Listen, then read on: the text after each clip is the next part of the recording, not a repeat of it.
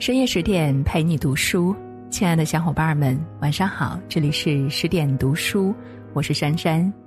那今天要跟大家分享到的文章是：我劝你少在网上看这四种东西。二零二二年移动状态报告里显示，截至二零二一年十二月，中国网民人均每周上网时长为二十八点五个小时。如果换算到每天，那就是日均四点零七个小时。不知道从什么时候开始，互联网成了很多人生活中必不可少的一部分。信息发达，为我们的生活带来了很多的便捷，但同时呢，也带来了危机。各种各样的信息流每天都在冲刷着人们的大脑，很多时候，人们都是根据自己的兴趣去选择看的东西。却常常忽略了对信息本身价值的判断。风扬起的方向决定了一个人行走的快慢，你看的东西决定了你的未来生活。网上这四种东西，我劝你少看。首先是少看碎片化知识。看过一个帖子，博主说他经常通过刷微博、短视频、知乎等平台看东西学知识。但他觉得自己所学到的东西都是碎片化的内容，博主意识到这样不好，却又说不出来哪里不好。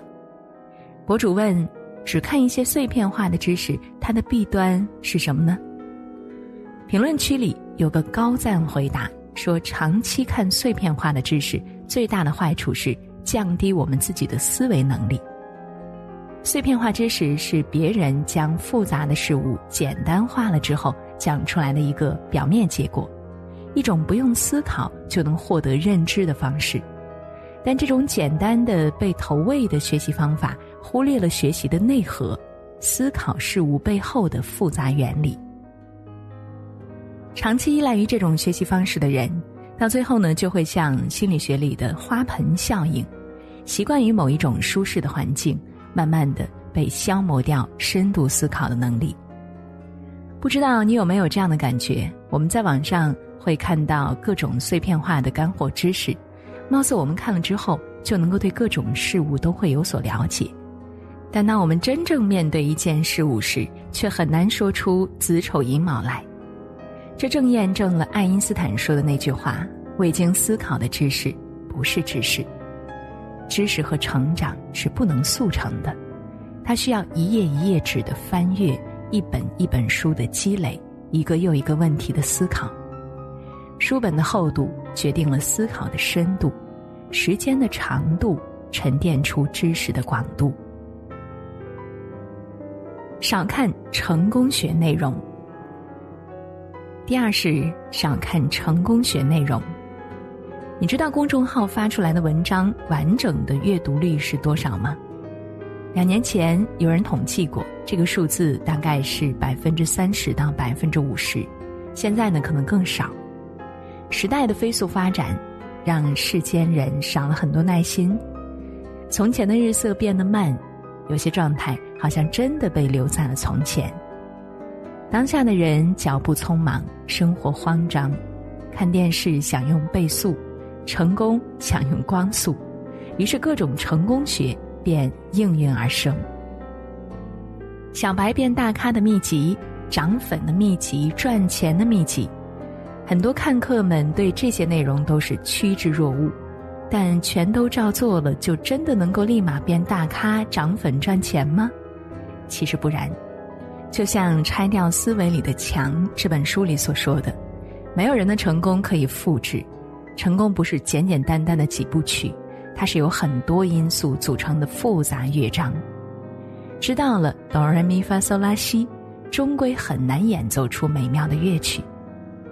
弗兰西斯培根曾经说过：“人生如同道路，最近的捷径通常是最坏的路。”人生没有捷径，成功也没有捷径。不要把手段当成结果，踏踏实实的听该听的课。看该看的书，做该做的事，只有足够努力，才能够一步步靠近目标。第三是少看垃圾快乐。什么是垃圾快乐呢？能够让人获得短期的快乐，而且容易成瘾的事物，比如肥皂剧、短视频、游戏。我常常会有这样的情况：看书看烦了，就想着刷两分钟短视频放松一下，结果一不小心就刷了一个小时，而且还是欲罢不能。午休吃饭的时候，本来预备只看一会儿电视剧娱乐一下，结果呢，原本十二点半就能够结束的午餐，硬生生被拖到一点半。生活的乏味让我们常常惦记着网络的有趣，却不知垃圾快乐正在偷走我们的时间，让我们的生活一点点被杀死。心理学里有一个现象叫反馈效应，指的是参与者。及时收到活动结果，能够强化他们的活动动机，促进他们更加积极的参与活动。